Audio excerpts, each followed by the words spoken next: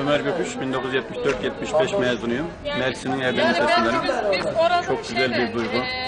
Evet. Nereden geliyorsun? Erdem'den, Mersin Erdem'den. Mersin Erdemli'den geliyorsun. Kaç çocuğun var? İki çocuğum var, iki kızım var. Birisi akademisyen, birisi okuyor.